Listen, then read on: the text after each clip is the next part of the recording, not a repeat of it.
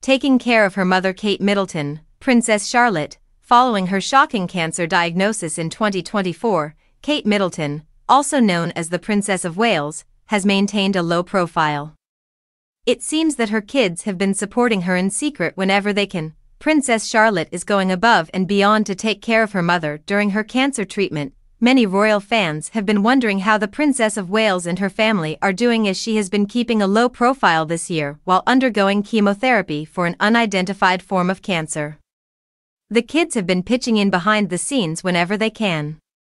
According to experts, Princess Charlotte in particular is making every effort to support her mother, Ingrid Seward, a royal expert and author, stated to Hello.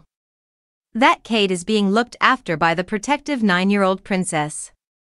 Seward, who observed the pair during the Trooping the Color parade and studied their body language, clarified, saying, I believe that Charlotte is truly looking after her mother. The way she stood in front of her and they continued talking was really endearing.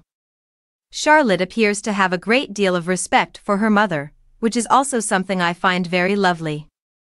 Kate and Charlotte are wonderful friends, and I think Kate values their friendship greatly, she continued.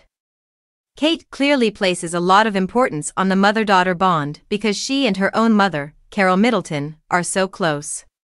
Princess Charlotte was spotted supporting her mother with a sweet gesture during the parade.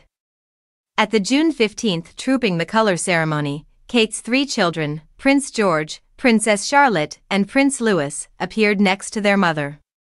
The family entered the king's birthday celebration in a carriage, but they were unable to wave to the cheering crowds outside because their windows had steamed up from the rain.